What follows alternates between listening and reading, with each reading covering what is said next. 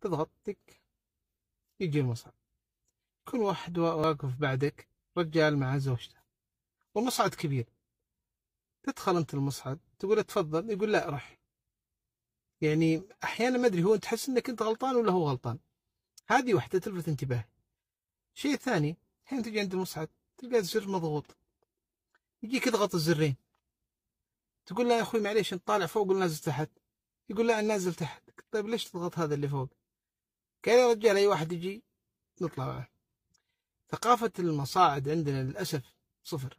يعني أو تركب حرمة المصعد تجي انت تركب المصعد تطلع هي. ليش تطلعين يا أمي؟ ترى إحنا في بلد فيها نظام. وهذه ما بخلوة شرعية. ترى إحنا في مبنى حكومي أو في في مستشفى. الله يبعد عنكم كل تعب. ليش؟ في ناس تستغربها صراحة يعني. هي لو تجي عند المصعد أو الشيء الأسوأ. تجي عند المصعد تجيك ذيك الحرمه توقف تضغط المصعد تركب هي قبلك. لا ركبت انت. قالت لو سمحت انزل. طيب أنا واقف قبلك. إذا أنت فرضتها بهذا أنا أنا واقف قبلك.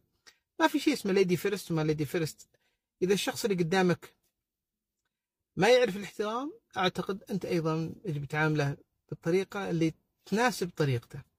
لأن في ناس ما ما تعرف خصوصا في المستشفيات لما تجي تضغط الزر وتواقف.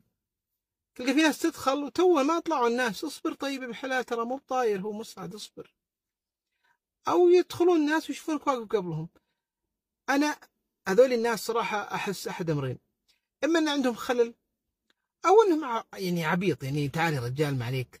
لأن فعلا بعضهم إذا ما يعرفك يا رجال ما يعرفني مش بس. بس لو يعرفك يمكن يكون لطيف شوي. هذه الأشكال أنا صراحة يعني سأمت منهم خصوصا عند المصاعد.